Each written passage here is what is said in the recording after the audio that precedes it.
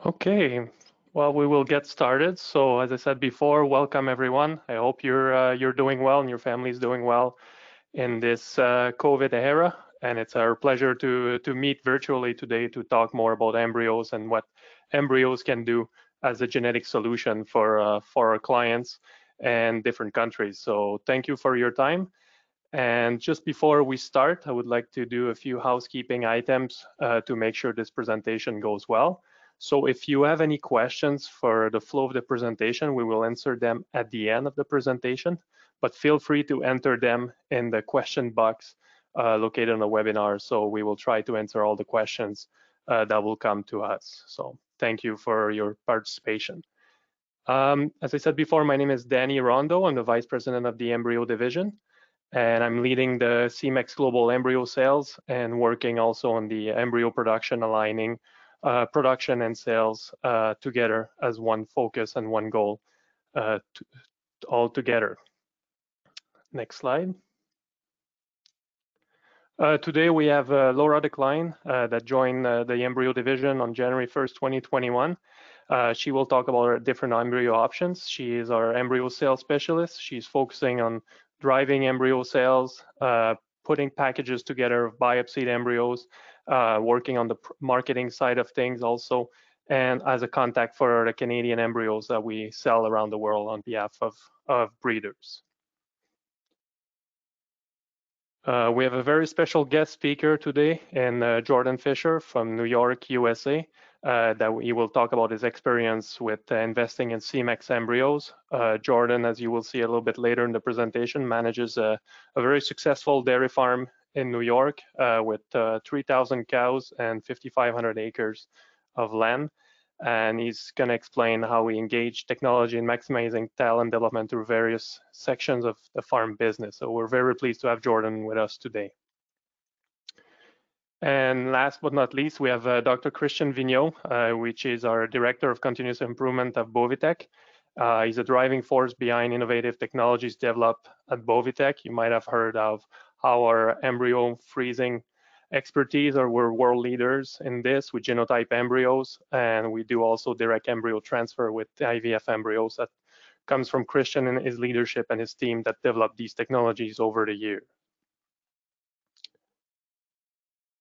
So today our agenda will talk about uh, the different options that we have uh, for our for our clients. Uh, we have Semex embryos, we have biopsied embryos, elite and genetics, we have a new program that we're quite excited about named Embryos on Demand, and my colleague Laura uh, will go more in details about this. Uh, we have, will have Jordan speak about his experience with embryos as a genetic solution. And we'll talk also uh, with Christian from a technical standpoint, the uh, embryo IVF embryo risk and rewards. Uh, we want to make sure that we are fully transparent with our clients. And at the end, if you can bear with us, we will have a Q&A session that you can ask questions directly to any of the, the speakers today. So why? So the questions we get is why do we? Why should we consider uh, Semex embryos? Well, first of all, they are a very unique product. Uh, we have embryos, um, you know, that are exclusive product. They're female embryos. Uh, they can be part of a genetic strategy enhancing profitability, and that's something really important for us. Is embryos have to generate an ROI for for our customers, and we strongly feel that the packages that we can put together, uh, being female embryos, can really generate a return investment for, for our clients. And truthfully, uh, as we know the genetic industry right now, it's hard to get access to the, the top genetics in North America. But with this, uh, it gives us a chance to, uh, to have access to the top 1% of North Americans' best genetics delivered to your farm uh, for your genetic program. And as I said before, it's female embryos, so we are quite excited about this to provide the kind of animals that you need for your farm and that can excel on your dairy. Next slide, please. So something we have to do as a genetic company is to demonstrate uh, genetic gain. And I'm, I'm quite proud to share this slide and we can use different indexes, but for this example, we've used LPI uh, to demonstrate the genetic gain. So LPI is the Canadian index to rank male and females. And what we've done, we broke it down in the top 25% LPI cows in this herd versus the lowest 25% LPI cows in this herd. And what we can see is that the highest LPI, the highest indexes cows, were also the highest producing animals on milk. We see on the 305 milk average in kilos, they were averaging 11,314 kilos versus the lowest 25% of the herd were averaging 9,747 kilos of milk. So for the same program, the same management, the same feeding, the cows with higher index uh, were averaging 1,500 kilos more in the same lactation and 99 kilograms of fat more in the same environment. So this is where truly we can calculate a return on investment by investing in top genetics and investing in embryos that are going to be in the top, not only the top 25% of most herds, it'll be in the top five or the top 1% of the herd to really see the genetic impact of an embryo strategy. So what we pride ourselves at Semex is really to put the client in the middle of everything that we do, in the center of everything that we do at Semex. And we're very strongly focused on bringing solutions for the needs of our clients. And what we want to do, we want to have as many solutions as possible to make sure that we meet uh, we meet your needs. So we have different solutions that you've heard before as Immunity Plus, uh, disease-resistant genetics, we have a mating system uh, in Optimate. We have Semex Works. We have Elevate that can help us identify the females for uh, an IVF program in the future, for example. We also give you access to Progenesis, which is Semex elite donors uh, by providing embryos that we are talking today from Semex uh, bull mothers that we have currently on the program. Uh, we have also Dairy Track to help us track performance of our clients and our da dairies. And the last tool we want to talk about also today is Boviteq as an IVF uh, solution for our clients. So really trying to put everything together into a concise uh, value-added solution for our clients. Uh, so today with uh, the exciting part also, uh, since you are attending, we are quite excited to offer a draw uh, for all attendees, there's an exclusive draw to win a package of 10 female embryos. They're genotype embryos. We know the female and we know the genetic value, and they are averaging 2850 GTPI and 750 net merit. So very high genetic level. And whether you prefer GTPI or net merit, uh, that's a very exciting uh, genetic level that we are offering you as a draw today. So best of luck to everyone. And um, I will pass on now to, to my colleague Laura, uh, that will talk about the different options. Thanks, Danny, and thank you everyone for tuning in today. It's an exciting time. I'm just going to navigate you all through some of our exciting and exclusive embryo options that are available today, right now, um, and for just a few minutes. As Danny mentioned, we always put our clients at the forefront of everything we do. One of those solutions is Semex embryos, and it's the reason we're on this global webinar today. And we're just gonna dive deeper into the embryos themselves, the ones we have on offer, and the transparent results that come along with them. Some of the embryo options as listed here are our embryos on demand, the Progenesis biopsy genetic embryos, the Progenesis biopsied elite embryos. Those are the three embryo options we have today. Uh, different options for different goals and strategies within your herd. Um, there's lots of options, flexible and customizable options that can help you develop, reach, or optimize your genetic goals. And there really is something for everyone, and we can adapt a different genetic strategy around the world um, utilizing these Semex embryos. Beginning with the first of two options to discuss today, the biopsied embryos. These are embryos we have readily available and produced.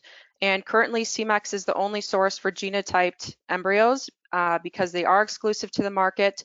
Uh, no company is currently offering them. A bit more about the biopsied embryos themselves. With biopsied and genotyped embryos, you know what you're buying in terms of both genetic value and the sex of the embryo. Biopsy meaning that they're determined to be 99% female, and then also with the genotype, we know the genetic results of each individual embryo and provide this data to you. Having the biopsy done ensures you have a 99% 99% or next to perfect chance of having a heifer calf on the ground compared to about 90% with sex semen. So there is a next to perfect confirmed female heifer calf. Um, we also know what to expect when they're expecting in terms of genetic value. Regarding availability, uh, new biopsied embryos are added and produced monthly and are offered in tiers, uh, elite and genetic. These elite and genetic embryos are made up uh, into packs, and I'll talk about the packs shortly here. But lastly, for ordering packs themselves, it is a first come first serve basis. So if you do have interest in anything listed or a pack itself, be sure to secure it as soon as possible with your local representative. Beginning with the elite packs, elite packs are the top genetics we have to offer. This, this is an example of one of our recent packs offered in April with the gray bar at the bottom representing the packs table, um, the averages for all 10 embryos within the pack for each um, genetic criteria. In general, majority, if not all elite packs are averaging above 2,900 for TPI and within the top 1% of North American genetics. So a very impressive group we have to offer, and this is just one of many packs we have available. Obviously, many different combinations available for you to choose from. Uh, with the genotype provided for each individual embryo, there really is something for everyone to look at depending on your genetic strategy. Uh, and this is only a snapshot of the genetic um, material and index criteria we provide for the packs, but more is available in our inventory files that we um, have available.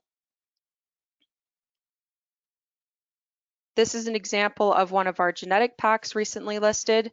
We wanted to give you all a real life example of what exactly is offered each month for each pack type. Genetic packs are also a great way to accelerate the herd genetically being within the top 5% of North American genetics. And all of these genetic packs we have on offer typically average over or above 2800 TPI, so just below the elite packs. Uh, in a few short moments, Jordan Fisher is going to be speaking on his experience and investment with these biopsied embryo genetic packages. But overall, both elite and genetic embryo packs are an excellent opportunity to accelerate genetics or be a part of your herd's genetic strategy within only nine months. You're seeing these results. With our IVF embryos, you're receiving both a new generation of females to the herd to accelerate genetics and progress it even quicker, and package types are really based on your preference and needs. One other thing to mention is that a large portion of our embryos are made with sires as listed here, that may not be accessible in semen or have very limited semen. So this is an excellent opportunity to gain access to these sires quickly and will almost guarantee a female calf on the ground. Uh, sex semen on the best bulls is typically often hard to find or get early in a bull's career. So this is just another opportunity with our IVF program. You can get access to these bulls much sooner. I'm just going to transition now into the second Semex embryo option, another opportunity for embryos. Uh, and this program is called Embryos on Demand. Separate from the biopsied embryos, this program was another unique offering we created. And it was designed because we wanted to provide you with a lot of quality product in your hands uh, within a very short period of time and a solution that is also fully customizable. With Embryos on Demand, it will allow your farm to continue and accelerate your genetic goals and specific breeding objectives. Like it says here, it is a fully customizable genetic solution for your farm. So this is allowing a huge opportunity for you to set and then achieve those specific goals within your herd. Uh, and I'll just go through this program a bit more on the next slide. Here are some donors that we currently have available for the Embryos on Demand program right now. All of these donors are chosen because we know that they are both excellent producers and have top quality genetics. We handpick them directly from our program. A lot of these donors are A2A2, A1A2, um, are above 2900 TPI, and I believe a few of them are even within the top uh, PA LPI in Canada. Um, a lot of these donors and elite donors that we have on this program will also be full brothers in AI. So it's an excellent opportunity to have access to these elite donors, no strings attached, and confidence knowing that they are from strong families that make up our Semex Bull lineup. This group of donor changes about every one to two months, allowing for fresh genetics and fresh donors. So be sure to take advantage of the donors added or available at each time. And this is a very exciting and new program to say the least. A lot of different opportunities with these donors to deliver results and progress for your needs. Just one more slide on embryos on demand from me and a bit more about the program itself. These embryos are donors from our internal program Progenesis. And so just another exclusive opportunity because we're providing you with an opportunity to handpick specific genetics within the Progenesis program via these elite donors. The embryos are IVF embryos, as are the biopsied, and we are proud to say that all the embryos produced from this program have, have an immunity plus parent average above zero, which is a huge herd immunity and health advantage in itself. All of the embryos on demand are made with sex semen and based on your specific needs. So if you have a goal to go, say, full A2A2 or polled, um, if you have an emphasis on two or more thresholds genetically, we're able to handpick these matings to do so, um, and we can definitely make that happen for you. In terms of production, it's three months or 90 days between production and shipping. So a very quick turnaround, especially with such a customizable program, hence embryos on demand. So please feel free to contact myself or your Semex representative to learn more about how you can customize embryos with this program, or please feel free to continue to ask questions in the questions panel of the GoToWebinar. This concludes my portion of the presentation on our embryo offerings. Uh, so two very exciting programs that we're very proud to have on offer for you all today. And I'm just gonna hand the presentation over to Jordan Fisher now of Mapleview to speak about his farm and genetic program and how he applied Semex embryos on his dairy. The audience is now yours, Jordan, and thank you everyone for listening. Thanks, Laura, and uh, thanks for having me today. We're going to start off today with just a brief farm history, uh, an overview, just the farm, the repro program, uh, and what things look like on the farm today. Get into why ET and really why genetics, why we think it's worth investing in genetics, and, and why we're pushing so heavily on that. And then a little bit of results, our experience with Semex embryos, uh, the things we liked, some of the concerns, some of the things we didn't realize going into it maybe, and conclude after that. So farm history, our family came to the Madrid, New York area in 1822 from Scotland, and then steady growth uh, throughout with uh, different generations coming back, my great great grandparents, grandparents, and so on. Uh, now my brother joining and myself uh, in 2019. If we move to uh, the next slide, please. So as it sits today, 3,000 cows, uh, 2,450 Holsteins, producing roughly 90 pounds of milk today. Um, 550 Jersey milk cows, about 58 pounds, just over a 5% fat. Also have 2,750 head of young stock. Um, so the dairy is one site and the young stock is, is situated on another site. I'll get to that on the next slide here. But we also work 5,500 acres of uh, cropland, corn silage, alfalfa, grass haylage, and a little bit of our corn grade needs uh, for the dairy herd. Next slide, talk, we'll talk a little bit about Forest View heifers. That's our heifer facility. Um, manage about 3,400 heifers, 65% of those being our own and 35% of those being custom raised for other dairies. Uh, they come in in about uh, 60 days, 60 to 90 days and stay until five weeks uh, before calving. We do extensive ET work at uh, both sites as far as implants. Talk a little bit next about our repro programs. Lactating cows are on a Presynch-Ovsynch 100% timed AI on the first service. Lactation one, two, and three all receive an embryo um, as long as they have a, a good CL and, and everything seems to be going fine as far as their transition period. The first and second lactation then are followed up with a service of sex semen, and then we move to beef after that.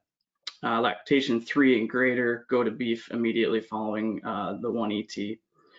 So for the year, I just pulled some some parameters on repro to give an idea. Heat detection rate 73%, conception rate 44%, and preg rate 30%.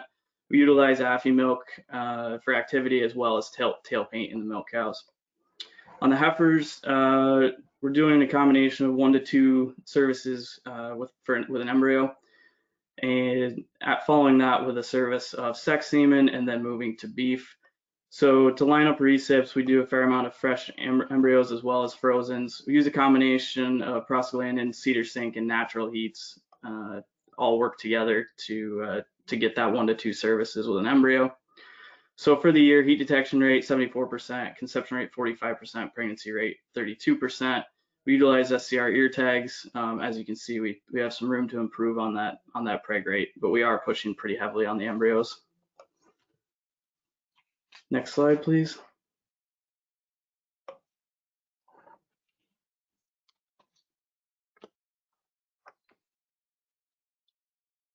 So we're going to move next into uh, why we're why we're pushing the embryo program and the genetics so heavily.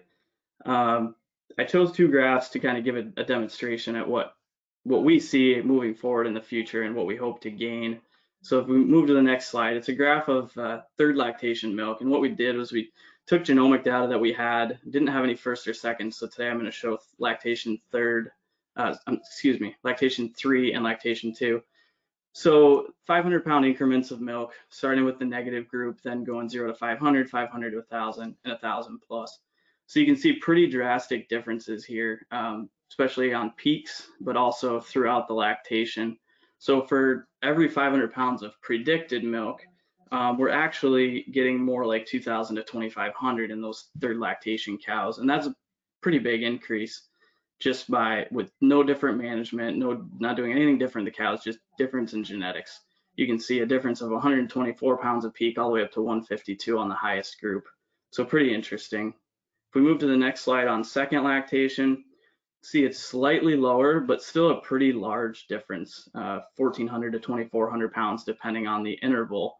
And this really drove home for us, um, again, with no different management, why we think we need to focus so heavily on on genetics and using genomics, embryos, combination of sex semen, all these things to achieve our goals.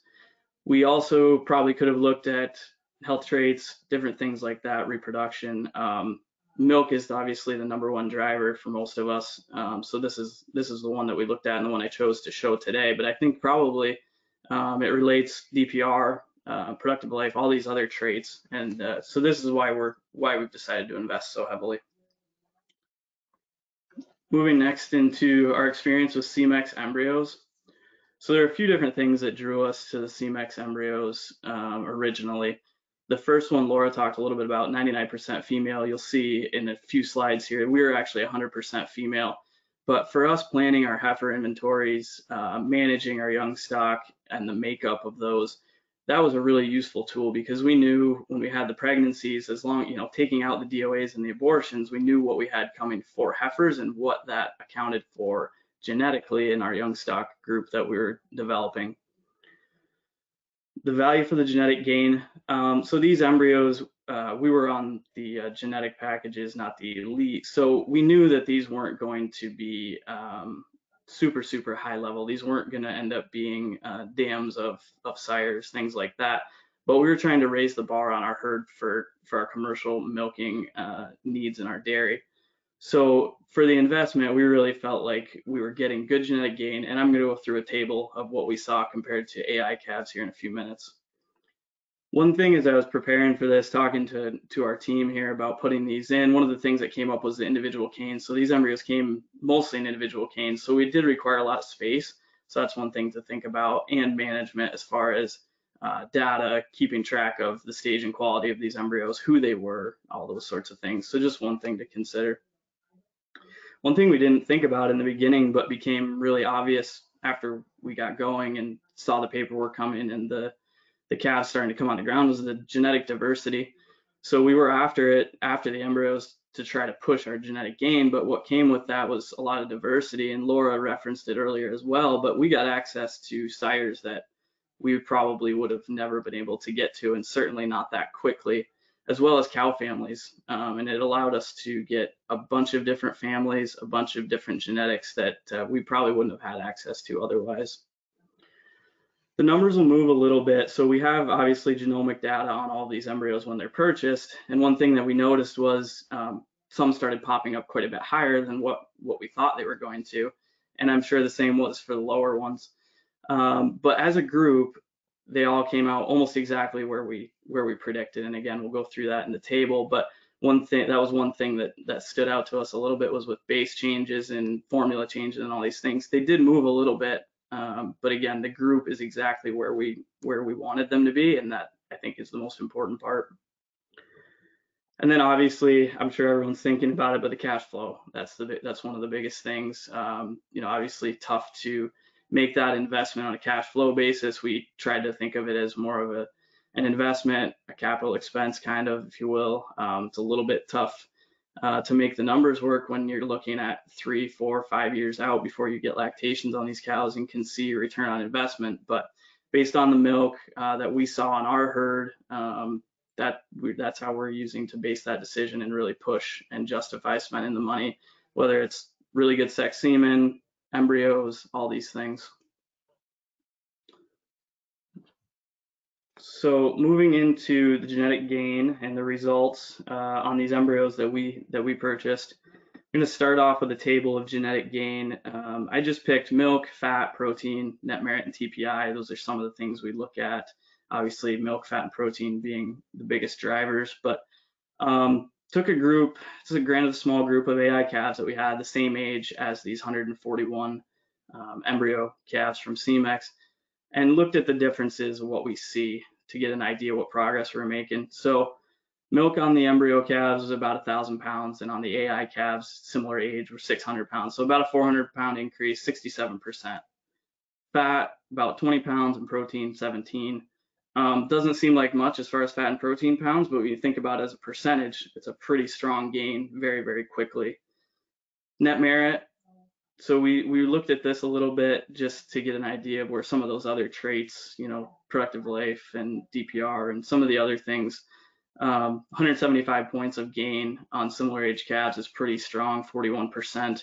TPI 11%, 262 points. So again, overall, for calves that are on the ground, same age, going to come into the herd, we have really high hopes. Um, if we can really see 400 pounds more milk, 20 more pounds of fat, especially if if they actually deviate more than that, which is what our original data would suggest based on AFI, we think that we could have a really strong return on investment here. Obviously, won't know that till those cows are, you know, calves are in the herd milking maybe two, three years out, but gives us a really strong indication of where we think we're going with this. Now that we talked about the genetics, move into the performance um, reproductively of these embryos. So I took all the embryos that we bought that we had been able to follow data through and we had live calves um, all the way through. So total embryos implanted 464. Pregnant at 30 days, we had 202, so 44% conception overall in all of those embryos. And you'll see in the in the next few slides, um, we had some pretty big ups and downs, but the, the average came out at 44. Abortions 30, so 6%. Stillbirths 10, 2% which we were really, really happy with. We expected maybe a bit higher than that. That's actually below our herd average. And these embryos were mostly implanted in heifers, so really happy with that number. Recipient sold or died, five, so 1%. So total live calves on the ground, which is really all that matters at the end of the day, uh, 157 for 34%. So we move into the next slide. That will break it down a little bit. You can see we started off in August and we finished in May with just a few numbers towards the end. Um, but this really demonstrates the um, different the, what the embryos can really do. So October, for example, is our best month, 57% conception. We were really happy with that. Things were going really well.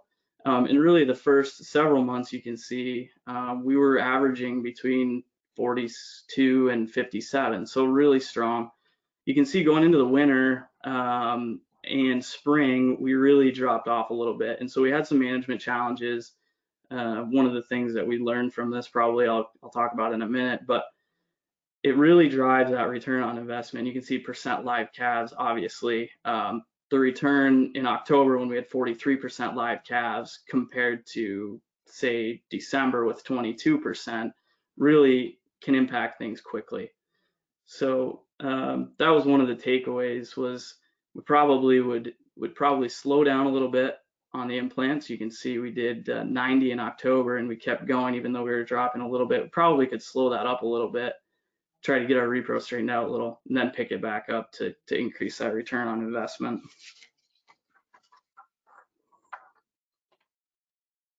Some concluding thoughts. Um, like I just get just said, uh, change usage based on performance. So when we were 57% conception, obviously a much greater ROI. We had more live calves coming out of those embryos that we purchased, And we probably also would distribute the implants a little more evenly. So when we had good conception, we had lots of implants, a high percentage of our heifer crop then was going to be resulting in ET calves, whereas some of the poorer uh, months on conception would have been more uh, sex semen or beef. So we probably need to, as we go along in the future, that was one of the things that came out of this was we're going to try to even that out and try to get our genetics to be a little bit more steady throughout as these calves are born, because then we can use that in the future, whether we use sex semen on those rather than being a recipient or we flush some of them, things like that. So to try to even out that those genetics being born all told, we we achieved the goals we set. Again, these numbers really reflected what we had predicted in the beginning based on genomics. The real ROI will be calculated after a few lactations on these animals. But for now, the genetic information we have on these calves that are on the ground, and actually some are getting close to breeding, are really, really close to what we predicted when we originally purchased the embryos and decided to move forward with this. Another thing that stood out that's worth talking about is the, the data management plan. So we maybe underestimated um, exactly how much effort and time and energy was going to need to go into keeping track of the sire, the dam, the quality, the stage, the performance of these embryos, what calves actually were born, getting the genetic information in, making decisions on are those going to then receive an embryo or are they going to be high enough that we put sex semen or do we flush some of these? Just the overall data management plan is something that maybe we didn't really understand going into it and it's required a lot of time and energy we think it's still worth it but it's just something that to take consideration our team has done an awesome job um, spreadsheets uh, dairy comp all these things but it is it is a lot of effort uh, to maximize the return and the genetic gain on these so with that that will conclude my presentation and we'll turn it over to Danny. Well, first of all, on behalf of everybody here, uh, Jordan, thank you very much for uh, sharing your experience and uh, being very open about, you know, the performance that you got and the, the results uh, with embryos. So uh, if you can stay with us at the end, I'm sure there will be a lot of uh, questions that will be directed to you. And I think that will be great for the audience to ask the questions directly to you. So thanks again for, for being here today. Um, now moving on, we wanted also to, to talk about uh, our embryo production center, Boviteq, but also the, uh, the risk with embryos and rewards. So we wanted to be, again, it's very important for us to be transparent and to be honest. And there's no better person than this for uh, to have a technical um, explanation from uh, Dr. Christian Vigneault. So Christian, all to you. Thank you, Danny. So um, just uh, thank you, everyone. Um, just to give a bit of a background, Boviteq started almost 30 years ago, and in the beginning, it was a research department.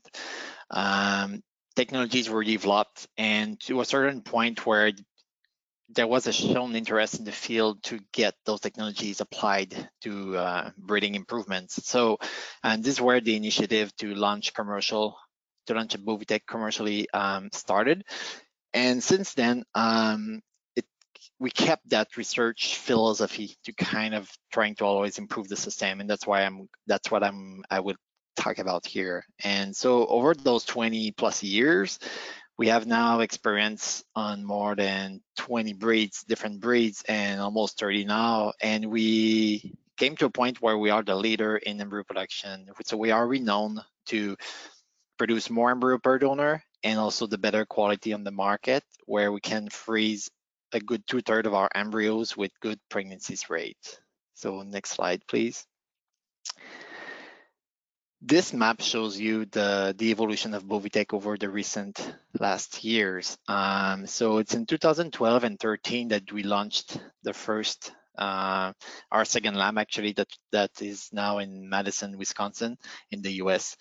And so you can see in 2012, the few centers in red where we had cow aspirated in the field and the oocyte were shipped to the lab, uh, which is shown by the green uh, marks. But on the left, uh, on the right uh, map, you can see what's where we are today. So every, and we have a couple more added since that uh, that graph, but um, you can see that we have much, much more locations now, and we are really spread around the North America with the success that we've had with our system. Next slide, please. So as I said, it changed a lot. When I joined Boviteq in 2008, um, the system was really, really, really different. Back then, I remember we were getting quite a bit of a phone calls about calving problems and calf issues and big, large calves. Um, but this has changed quite significantly with the improvement we've made to the media. Um, so as I said, we're constantly changing the system, and it came. We we came to a point where we reduced significantly the calving problems. And as Jordan said, he's, he he did have a very good experience with the calvings on his farm. Uh, we brought the technology to the farm, so it's now possible to aspirate on farm and send the oocyte to our lab, and we send back the embryos to the breeders. Um, we have improved quite significantly the freezability of those, and we are now as I said before, the leader in in this sense. And actually, we it's it's really not significant. Um, the pregnancies are not really affected by the freezing of our technology. If you would take a fresh Boviteq embryo and you will freeze a nice fresh Boviteq embryo, you would freeze it. You would not measure any noticeable decrease in pregnancies uh, from our embryos. And finally, one of the things that we have implemented too more recently is the biopsy of those embryos to get the genomic information, freeze them after the biopsy, and be, being able to implant them after the results. Um, and this is what we propose you today also in the packages. Those embryos are produced through that technology. But we're not done yet. Um, we are continuously improving and that's what I'm working on now, and this is my role, and I have a team with me to improve that because it's still not perfect. So we want to be very transparent with you in that sense that um, it's not not all sunshine and rainbows and everything would go as as planned all the time. Um, this is the the data you should expect when you, you use IVF embryos today, and and we're just working hard to kind of make it them better and improve those. So as a start, you should expect 45% of pregnancies around day 60. Uh, so confirmed pregnancies when you're using our frozen embryos. And our technology is super easy to use on the farm. It's using regular transfer of in vivo like you would use with in vivo embryos. So when all the procedures are followed the same as they would use with normal regular flush embryo, this is the pregnancies that um, people should expect what can be seen after the fact, after the confirmed pregnancies, is up to 8 to 10% abortion through the entire gestation uh, length uh, uh, up to the calving date. Um, some will see lesser than less abortion than that, but it can be um, some might see that high of abortion through the whole uh, nine months of pregnancy after when come when you come to birth, um, you you you can get up to eight to ten percent of losses around birth and the first days after the birth. And but it's it's number you can you can get better than that sometimes too. As Jordan said, he had a really good experience. But we're just showing the kind of a worst case scenario that people should uh, take in account when they jump into the the game of IVF embryos.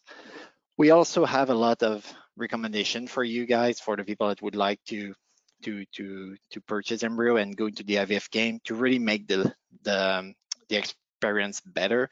So like never go over due date is one really important point we want to um, that you're you take in account. So if you see that some recipients will not show any calving signs at due date, we really recommend to induce the calving of those recipients. And so it's going to be the best for the recipient and also the calf, and it will avoid extending the, the gestation and get larger calves um, because of that reason. And finally, um, one could expect up to 3% of what's considered large calves from uh, our IVF embryos at the moment. And um, yeah, so, but all that said, I mean, we still believe and strongly that the gain worth the risk. So again, we want to be very transparent and those are the, today's number and constantly improving years after years and Danny will will show you how then when you invest in those embryo, you can combine that with other technologies that we can offer to really maximize the return on investment of that first investment you will make with those purchased embryos. Well, thank you very much, Christian. And I think for us, it's uh, as Christian said, it's to be transparent, and Christian will remain available for your your questions uh, at the end of the presentation. If you have any concerns, it's important that uh, you ask the experts directly. And as you've seen, Christian is somebody that's, you know, very transparent, very passionate about providing solutions and honest answers to our clients. So feel free to ask questions. And I take the opportunity before I talk about my last few slides that the questions started to come in. So if you do have questions, please start typing, typing them in uh, the question box and we will do our best to answer uh, the questions. So a couple uh, slides uh, to finish about uh, the presentation today. We want to talk about, you know, improving the herd rapidly with embryos and IVF. And it's truly, we're quite excited about this, uh, the embryos as a solution for your, for, for your herd. So we could use embryos as part of a strategy along with other strategies already in place in your herd. It doesn't mean we have to remove totally sex semen usage or beef semen usage. If you've seen on the on the graph on the left, uh, we could transfer embryos in our lower genetic animals and still some of them as Jordan is doing using beef semen on the lower hen animals and using sex semen on the best animals and on the top top ones uh, we strongly recommend doing IVF embryo production from the top ones to transfer in our lower hen animals. So it's really a combination of uh, strategies and tools available uh, for your dairy that is the, the optimal solution. And what we want to do is to switch that bell curve more towards the right, towards the gen higher genetic level. And this is what we have to do as a herd. There's always going to be lower animals, higher animals. Is how do we maximize the return from our highest animals in the herd. If we can multiply our highest animals, that's how we can really see genetic gain as Jordan has seen in his herd. Uh, moving on to the next slide. Just want to talk briefly. Uh, we're extremely proud of Boviteq, our embryo production center here, and we're pleased to say that we're going global now with uh, with Boviteq. Uh, we have a partner in Cenatte in Brazil, uh, which is producing quite a bit of embryos as well. And also we started to establish licensees in uh, France, Switzerland, and UK. And uh, as you, I said, we are looking to go global with uh, a phenomenal technology. And as Christian explained, it's the best technology to produce IVF embryos that are of high quality and that generate pregnancies for our clients around the world. Just to give you an idea of the size of the program, Boviteq is not small uh, and Cenatte together, they produced over 140,000 embryos just last year in 2020. So in one year, over 140,000 embryos. So I'm extremely proud of the team uh, that are currently working in the lab right now, and they do a phenomenal job uh, producing a lot of embryos. So thanks to everyone involved in this. Uh, the last slide, I wanted to do a quick summary uh, before we go to uh, to answer some of the questions that came in. Uh, what we wanted to do is to uh, have different embryo types uh, for you for your solution. We didn't want to be a one size fits uh, fits all. Uh, we wanted to make sure that we have a product and we have a solution, whatever is your goal. For example, what I mean by this, if you want to do 100% A2, well, we can make 100% A2 embryos, and within one generation, your herd can be 100% A2. Uh, if you want to focus on net merit, well, we have embryos for that as well. So we wanted to give optimal flexibility uh, for our clients. Uh, we're pleased and excited to have the exclusivity on genotype female embryos that we offer to the market. And they come from, uh, you know, top donors, and you've seen before uh, top sires also that uh, sometimes are not available to the market just because they don't produce enough semen. But you can buy female embryos from those top sires what we like, we call them a customizable embryo. So really focus on your needs. And please contact Laura directly if you or your Semex representative in your market and your country. Uh, talk about different solutions and we can come, come up with a customized approach for your needs. Uh, also, what's important, yes, the genetic level has to be extremely important, but we need to make sure to create pregnancies. And we have the world leading uh, frozen embryo quality. So rest assured that uh, our frozen embryos are uh, delivering results day in and day out. And we will provide also technical information to make sure you get optimal results uh, transferring those embryos, such as recommendations of what's the best for uh, tr embryo transfer and all of that. As you've seen today, we have results in large dairies, so it's we have to change a little bit our thinking about embryos. It used to be in the past, you know, very exclusive for one special cow, but it has to be part of a genetic solution for large dairies. And we're very pleased to have a live example with uh, with Jordan that did a tremendous job explaining his thought process and how it affect and impact his herd. And you know, the future is very bright with the, the level of females that he has on the ground right now. Uh, we also have uh, direct transfer embryos, so similar to conventional embryos. That's a question that our clients often ask when they before they purchase for the first time embryos. Is um, you know is are they trans being transferred the same way as conventional embryos? And the answer is yes. So same process, same simple process. We wanted to simplify as much as we can the process.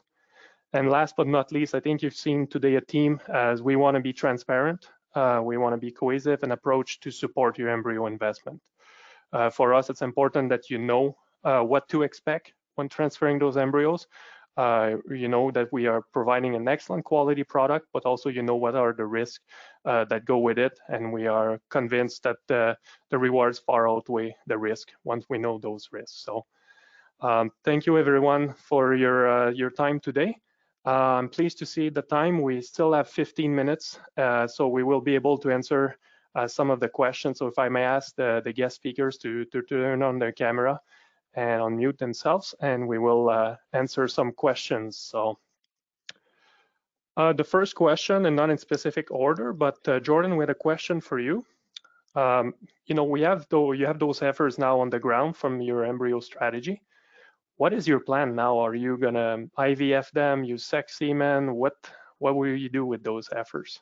Yeah, that's the big debate right now. What to do with those? So um, currently, our strategy is going to be to use the best sex semen we can find on those. Um, we are IVFing some heifers at this point. I'm not sure how much of that we will do. We'll have to make that decision, but um, so a combination probably of sex semen and potentially identifying the highest for IVF. Okay, excellent. Uh, Christian, we have uh, another question that come from you for for you. Sorry, uh, biopsy embryos versus non-biopsy. Can you confirm if the pregnancy rate change or it's the same? So uh, what we do is we select really carefully which one we biopsy to make sure we do not decrease the pregnancy rate of those embryo. And at the same time, the one we, we commercially make available are also the, the top of the biopsy embryo, if I can say. So we do not release any embryos that are kind of borderline that we might keep internally for our internal program to take a, a chance, kind of. Um, those are excluded from the offering. So we want to make sure that performances of, of pregnancies would be attained. So um, that's why uh, there would be no differences of what someone should see with regular frozen. Excellent. So no difference. That's really good. Yep. Um, couple questions for for Jordan. I'm trying to read the questions as they come. Um, you mentioned uh, historical gain in net merit. Um, you didn't, you know, you had net merit uh, that you mentioned, you know, increasing 41%. What was it compared to, to if you use semen or in the past or compared to US herds? You know, what's your base for that? Yeah, so so looking back, um, the last nine years on um, on Enlight, I looked up 61 points of net merit gain is what we had been traditionally gaining. So I, I don't remember exactly what that number was, but it was way more than that. Um, last three years has been about 80 points so if you look at that graph, we actually are gaining on the embryos 175. So essentially skipping at least a generation, if not more. Yep. That's excellent. Um, question, my apologies, the question disappeared, but I think, um, Laura, if we want to receive updates on uh, Semex embryos, what what's the process? Uh, you're on mute, I think.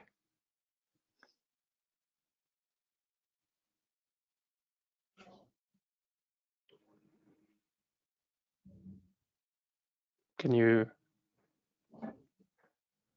um, are you okay, Laura? Or maybe I, I come back to you. I'll ask a question to Jordan and then I'll come back to you.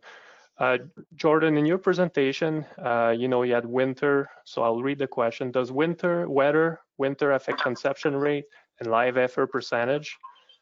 aside from the months when count was very low, Jan, uh, January or February? So did you see a difference? Yeah, I think that's a site specific thing. We tend to see a fair amount of cold stress where we are really cold temperatures, and that facility itself tends to be quite cold. Um, there were some other management challenges going on as well. Uh, I don't think it has anything to do with the embryos. I don't think it has anything to do with the technicians, although we were training a new technician at that point to put embryos in.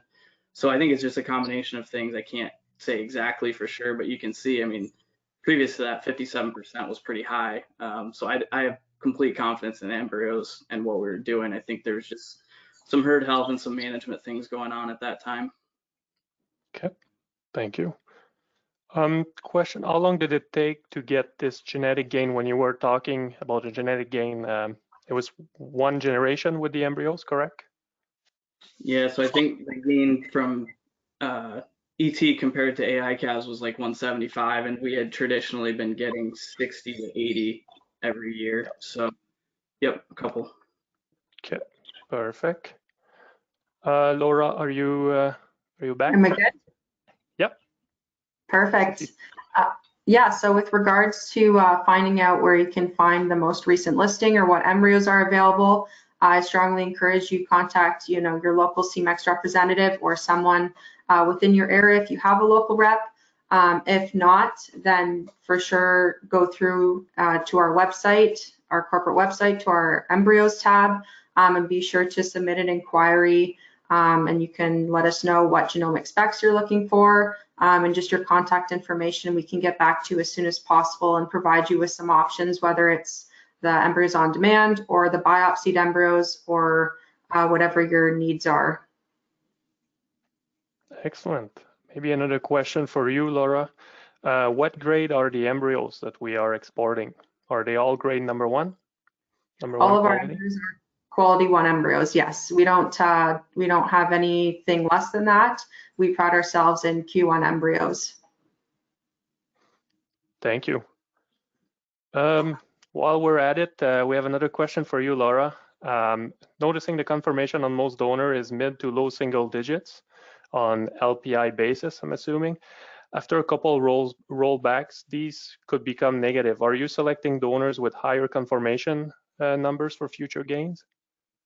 So that pack was just an example of what we have to offer. There's also different packs with um, higher values or um, customizable packages as well, like I mentioned. So we're always improving our, our program and our offering. So yes, I think with time um, and if we dive a bit deeper into what we have available, you'll definitely find something along those lines that you're looking for, uh, whether it's um, higher LPI, uh, conformation, um, somatic cell. Um, we pretty much have something for everyone and can cater to whatever you need.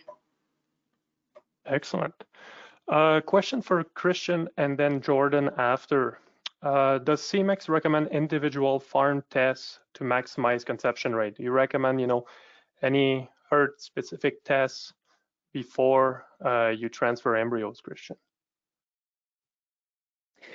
Not really. We we really um want good recipients, like in good body condition. Um, one thing that people need to be aware of the risks and it applies to every embryo transfer program, is is infections. So you don't want to get uh, have any problem with infections, vaginal infections and stuff. So the vets in charge of the herd should make sure that everything is in order in that uh, on that aspect. But besides that, um, nothing special. Uh, just good, healthy recipients. And Jordan, I don't know if you had more to add. No, we, I mean, like I said, 100% timed AI with a shot program. Um, we check for a CL as long as they're in good health and have a good CL. We use them. We don't treat our recipients any differently than than anyone else in the herd. Okay, so no no specific test, but I think it comes back to good management. If if like you said, Jordan, when once where repro was going well and things were were good, embryos will succeed. But if repro is a challenge or there's some challenges in management, it might be tougher for embryos to perform, right? Yep. Perfect. Another question for for Jordan. Uh, what have you done differently in the management of the recipients? Uh, did you do anything different? Nutrition, comfort? Did you do anything? Uh, we're you know we're doing such a volume that uh, yeah we don't treat them any differently. Obviously there's there's a lot of care put into um, just trying to do things right as it is, um, but we're not treating those cows any differently. They're out in the groups with everyone else and just try to do the best we can do with everybody. Excellent. Uh, Christian, a question for you is, do we expect more abortions with embryos than with semen? Uh, and then the question is, what practices in, in heifer rearing reduce the risk for abortions? So yes, so unfortunately at the moment, um, you should expect more abortions than with semen. So the up to eight to 10% abortion through the entire uh, gestation is something that can be seen. Um, and what could decrease that or what could increase actually the abortion is really, as I said, the infections. So bad, I mean, bad recipient health and uterine health can be a problem and you can see some early, early losses. Um, but besides that, again, good, medium, decent body condition, uh, good management, good nutrition, um, and uh, yeah, you should expect like results as as Jordan saw with the six percent abortions and and good calving rates. Excellent. Um, looks like we uh, don't have any questions, so we'll for the next 30 seconds, if you have any questions, it will be great if you can send them in. Um, I don't know if uh, Jordan, you have any final comments, recommendations, or Christian to our, our audience today about making embryos a success? I don't think so. Like I had said in the in the presentation, obviously it takes you know takes some management time. It takes some effort um, working on improving everything as a whole. But uh, we don't manage the recipients any differently. Um, just try to do the best we can with them and try to manage the data the best we can to to increase the, the gain and capture everything that we're investing in. Yeah, and I will I will uh, encourage people that are kind of hesitating still today to look at IVF embryo to ask their Semex rep to provide them the, the, the information about how to how to use IVF embryos and all the details that we quickly went over with managements of recipients. There's tons of information and details in that um, in that pamphlet. So um, do not hesitate to request that and we'll provide that to you. So uh, you can take a, a good decisions after the readings. Excellent. Well, Thank you. Thank you, Laura, for uh, your participation. Thank you, Christian. And again, thank you very much, Jordan, for joining us today and openly sharing your experience, uh, the up and down. So it really works with our, um, you know, what we want to do, be transparent with our with our clients. So really, thank you again uh, for your participation, and thanks to everyone for for joining today. Have a great day, everyone, and we wish you all the best. And looking forward to see you in the future again when the time allows. Thank you. Bye. Thank you.